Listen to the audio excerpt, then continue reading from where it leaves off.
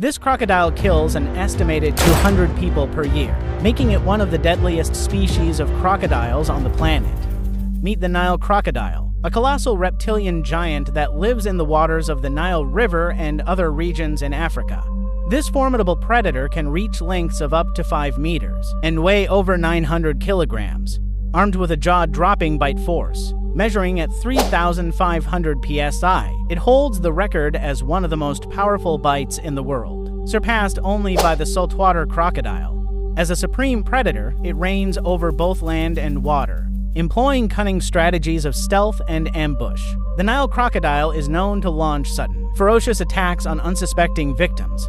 It preys upon a diverse range of animals, from fish and birds to large mammals, including humans. Despite their muscular bodies, it can reach speeds of up to 20 miles per hour in the water and about 10 miles per hour on land.